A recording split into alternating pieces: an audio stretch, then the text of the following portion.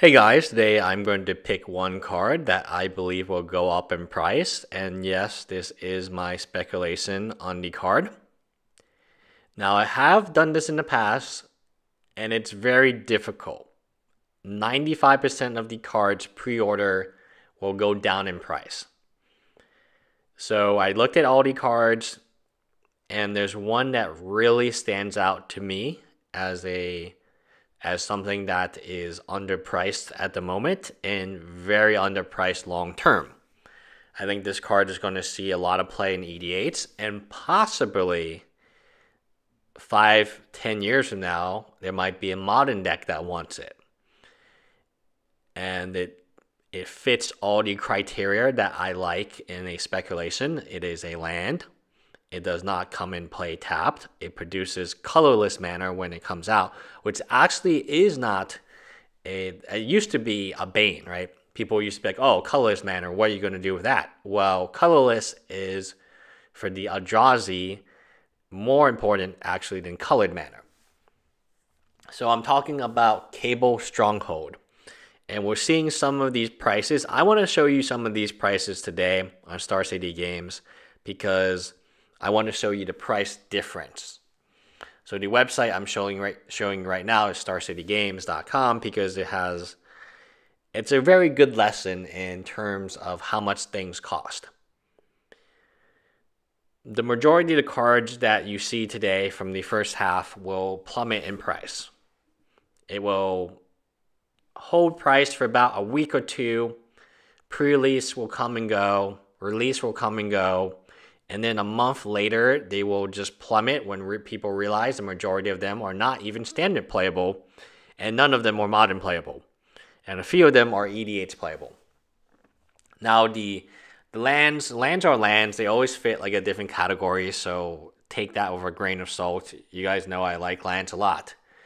When i saw this card come out i was a little skeptical of it because it does remind me of another card, Cabal Coffers, which is $25 right now. And that card is very old. It's an uncommon from Torment. Not much of Torment is was opened, especially compared to today. So this is Star City Games. Uh, you can order pretty much as many copies as you want for $4.99 on eBay. It's a little cheaper. Uh, it is about free twenty five or twelve ninety nine for a playset is the cheapest I've seen it at, which comes to which twelve ninety nine playset, three dollars and thirty three cents. Right, Star City Games pre order will always be kind of the more the most pricey. I think this is very very much undervalued, um, and my logic comes from Cabal Coffers. So play, having played Magic for so long I know one of the weaknesses of Cabal Coffers was that it didn't do anything. Like it was in uh, Torment was a, a set where you had to play the black mana, you had the tainted peaks, you had all the things producing black mana, but Cabal Coffers came into play and sometimes it was a dead card. Because it didn't produce mana unless you paid two to produce the black mana. Here, I it's interesting because it says basic swamp. That's not something I want to see.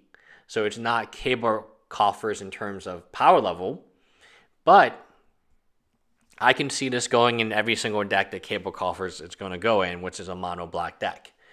And I think the added benefit, um, so when I played, it was half the time it's a dead card, especially early game.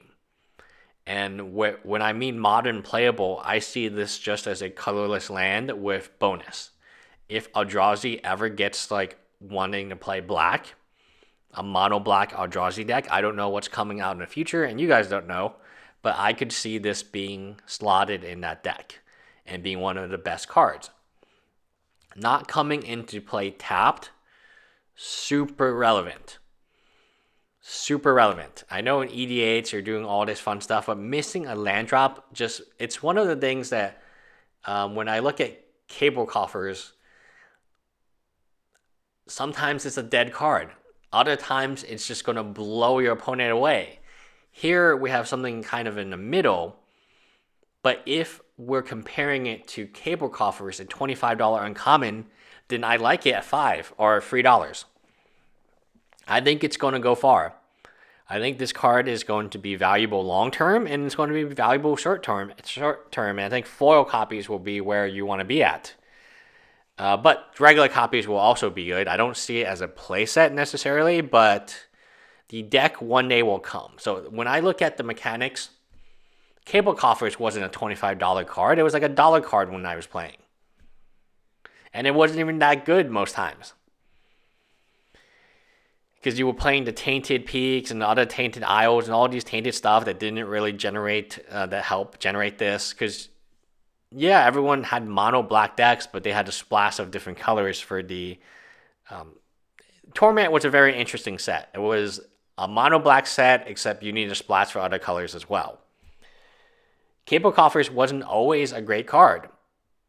This card solves the issue i have with Cabal Coffers where you miss a land drop essentially and to invest in future. Or if this comes later, that's really good. But if this is in your hand to begin with, it's kind of a dead card for at least a few turns. Now, for the new card, the colorless, that's really, really going to help. The manner has always been, it's got a lot better from when we used to play. And there's more of these uh, dual land types. So, this is my speculation three dollars or even at four ninety nine in Star City Games, I think it's going to hit ten. It does remind me a little bit of Urborg. Now Urborg was a reprint, so we knew what we were getting. Urborg, by the way, has gone up in price to where it used to be before the reprint. That was an easy, easy speculation. This one is not. Um, this one, I think it does need to find a modern home, and I think it will. Now, if it came and played tapped, It would be it, it would not be good. But having the uh, so if you view this as an Eldrazi land with the additional benefit of producing massive amounts of black mana later in the game, then it's interesting, right? I do believe that we will see a deck that really wants this card, that this wants this land. So the one the one land I think about, and this comes out because the five color human deck uses it, is that tribal land. And it comes in ancient zygote. And it comes in play, you name a tribe, and then or you can comes in play, you can only you you can produce mana of any color, but you can only use it to play creatures.